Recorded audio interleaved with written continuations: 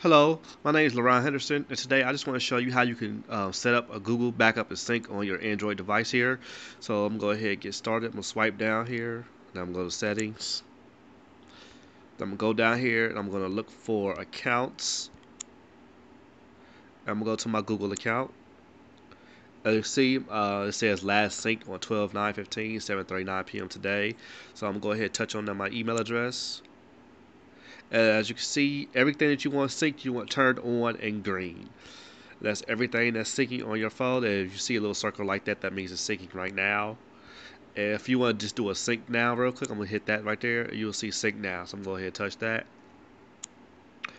Now you can see everything is syncing. So it says sync now calendar, my documents, Google Drive, contacts, uh, my Gmail. Everything I want here is syncing right now.